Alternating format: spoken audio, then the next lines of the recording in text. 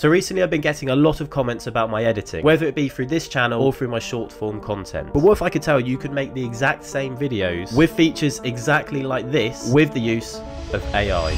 Now I've been very reluctant to make a video on AI as despite it being a trending topic, so many creators are quick to jump on it just for the views. And I've always tried to stay true to myself in creating content that I want to make and basically not follow the crowd. But for this video, unlike those that just talk about what AI you could use, this is an AI tool that I've personally been using to edit my videos that I've not really seen many people talk about and recently it's helped me step up my video quality a lot. So the website is called runwayml.com and it's specifically designed to help you with your content creation. Now immediately immediately, you'll be pleased to know that it's free. But the website will limit you with the amount of projects that you can make with this free version. So for the complete version of this, it currently costs $15 a month. But in my opinion, if you make content of any form, you'll see why in a moment that the $15 will be worth it. So when you go to load it up, you'll find that there's a lot going on here. On the homepage, it comes up with the most popular AI tools, such as text to video, where you can simply type anything you want and it will generate you footage that you can use, which obviously will be copyright free because it was made out of nothing. You have the same for images. So for example, maybe you're trying to get a good thumbnail for a video, but you can't seem to find an image online that fits the purpose of the thumbnail. In that scenario, this might be a good option. We have an easy remove background effect, We can mask out whatever you want by using the AI magic masking tool like this, and it will generate it for you quite quickly without having to manually draw a sketch around the edges. All of these tools